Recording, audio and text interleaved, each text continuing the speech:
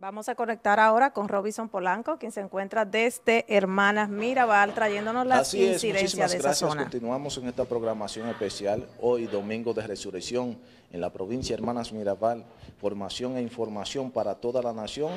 Ahora estoy en la defensa civil en esta localidad donde vamos a hablar con el director Francisco Javier para que nos dé el informe de todo el transcurrir durante el sábado santo en esta provincia Hermanas Mirabal. Francisco, el micrófono es suyo. Sí, muy buenos días, la región nordeste, provincia Hermanas Mirabal.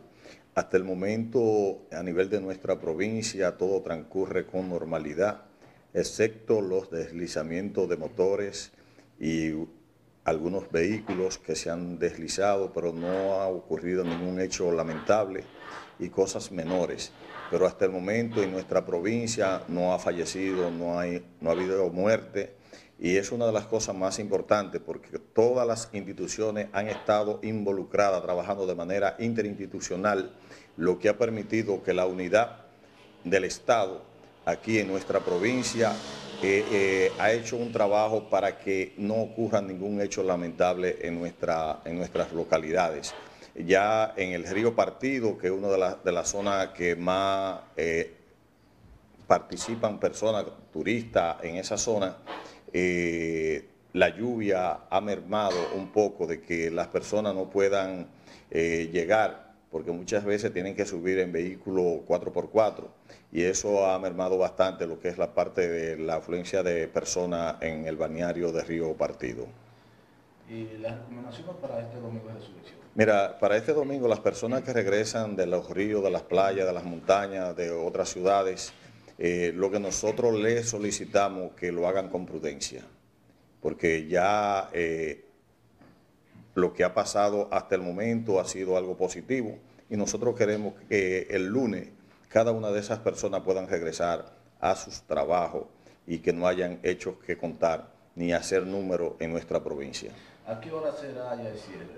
Ya para el cierre eh, de, este, de este feriado de fin de semana, eh, nosotros ya a las 6 de la tarde, cada institución en los salones de la gobernación vamos a estar dando el informe final de lo que ha ocurrido durante todo este, este feriado de Semana Santa. Muchas gracias. Muchísimas gracias a Francisco Javier, quien es el director de la Defensa Civil en esta provincia Hermanas Mirabal. Eh, nos informa que nada que lamentar ha ocurrido en esta provincia. En este asueto de la Semana Mayor es algo importante y le hace muchas eh, recomendaciones a los que se desplacen por las vías que lo hagan con prudencia. Es todo lo que tengo hasta el momento para esta programación Telenor Semana Santa 2023, formación e información para toda la nación. Ahora regreso con ustedes a los estudios. Gracias Robinson Polanco desde Hermanas Mirabal, pues poniéndonos al tanto con los, las autoridades, ¿verdad?, de defensa civil, quienes lo acompañaban y pues como escuchamos nos contaban que todo eh, funciona ahí de la manera, de manera normal y qué bueno que todo está marchando bien en este domingo de resurrección. Eso indica que, o da señal de que no hay casos que reportar, que lamentar en esta oportunidad de, de esta semana 2023, Semana Santa.